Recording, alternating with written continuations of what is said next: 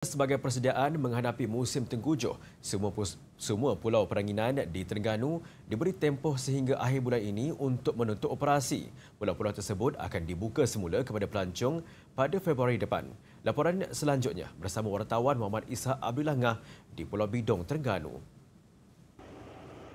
Siang tadi, saya dan juru kamera Abdul Aziz Abdullah sempat membuat tinjauan di stesen penyelidikan Marine Universiti Malaysia Terengganu UMT Pulau Bidong sebelum pulau itu ditutup kepada orang ramai.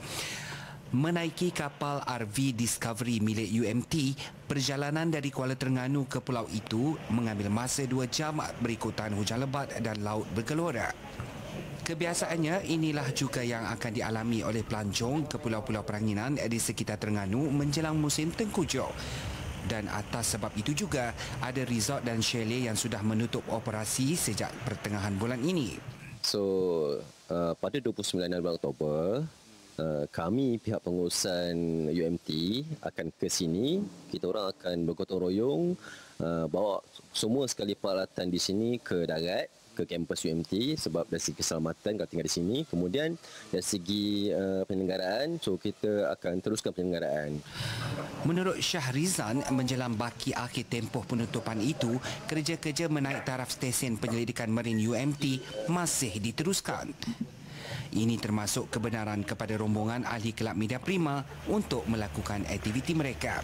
Pada sesi ini, mereka didedahkan dengan ilmu marin bersama saintis UMT serta menerokai Pulau Bidong yang pernah menjadi penempatan sementara kepada pelarian Vietnam suatu ketika dahulu. Paling menyeronokkan apabila melihat saintis UMT membuat kerja pengukuran sempadan kawasan terumbu karang. Ini penting bagi menilai perbezaan kerosakan terumbu karang sebelum dan selepas musim tengkujuh. Uh, perasaan itu sangat bersyukur dan uh, seronok. Terima kasih kepada UMT sebab menjemput kami.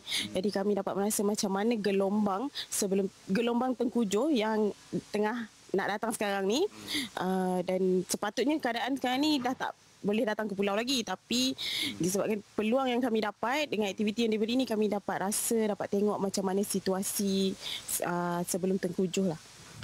Mengikut Jabatan Meteorologi Malaysia, tahap banjir kali ini dijangka hampir sama dengan keadaan yang berlaku pada tahun 2016 dan 2017 kepada penduduk pulau-pulau di sekitar Terengganu ini jangan bimbang jangan risau. Saya dimaklumkan oleh Jabatan Kebajikan Masyarakat JKM Negeri Terengganu bahawa bekalan makanan akan dihantar kepada anda secepat mungkin. Dan apa yang perlu dilakukan lakukan persiapan awal sebelum musim terkujuh ini Muhammad Isa Abdilangah Pulau Bidong untuk rangkaian Media Prima.